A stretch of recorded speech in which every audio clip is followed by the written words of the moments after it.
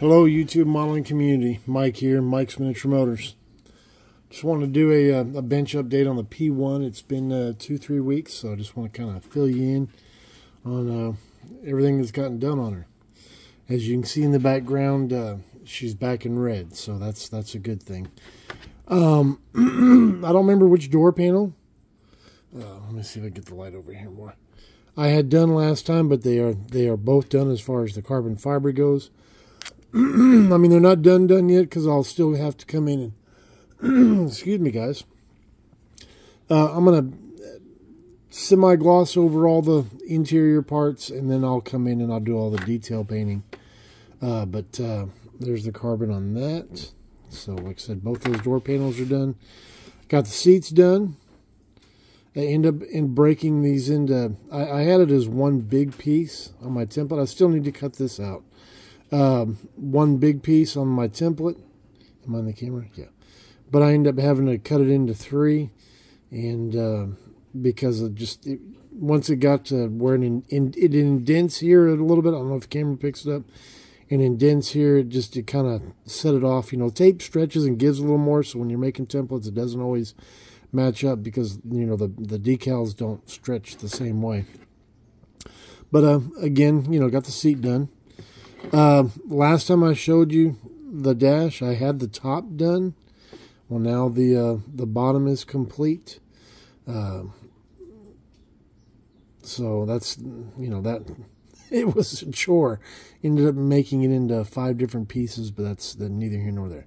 Uh, but that that is done. All I have left, uh, because uh, you've seen everything else, the bucket and the center consoles and stuff, is I need to come in on the see if I can get close enough I need to come up this side with a carbon decal, and then there's two, there's a you know there's a row of buttons here, and the these spokes are carbon fiber as well. And then it's uh, from there it's tan and it's black, but I'll hand paint I'll hand paint that. I just gotta finish getting the decals down. So like I said, once that's done, I'll semi gloss over it, and then I can start uh, detail painting it, and then start the uh, you know putting the interior together.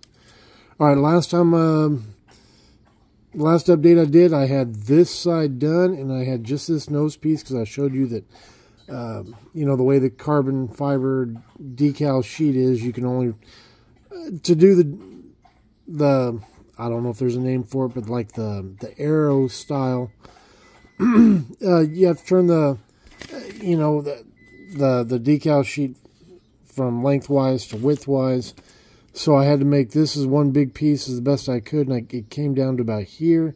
And then I had to piece in in between the diffusers. So that's all, as you can see, that is all done. Let me back it up a little bit.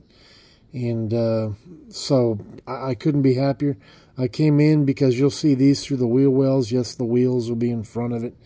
But uh, I just wanted it to be cohesive because I wanted to put in carbon fiber in the wheel wells on the body as well.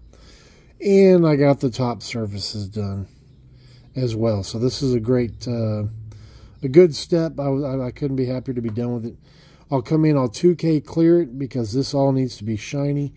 And then I'll probably mask off right here or I, I don't know how, how I'll do it, but I'll make all this flat. I just can't imagine the whole thing's glossy and, and you know, I don't know. I, no reference pictures on it except for you can see this on the car and this is shiny. So, um, you know, there's there's that. So couldn't be happier. All right, guys, and then uh, last, oh, I started on the nose piece. Uh, I've got my first two pieces of carbon down. I don't know if the light shows it, um, but uh, got the the one that goes this way and this way. Got to split it because, like I said, I'm doing the the. I don't know, like again, I, I don't know if there's a name for it, but the arrow look or the pointy look. Uh, all right, on the body, it's it's in red again. Uh, three gold, uh, four red, and uh, there's no no scratch anymore, guys. So that's all that's all done. But uh, there's there's the body, and I decided to go. You know, I had this painted gloss black because I was going to carbon fiber it, but I was looking at uh, you know the car I'm I'm, I'm kind of replicating or using as my biggest reference. It's body coloring, and I kind of like the way it's smooth versus you know you put the fin up and it, it kind of interrupts the lines and uh, I just after thinking about it and looking at it and staring at it for a while I just thought it looked better in red or body color.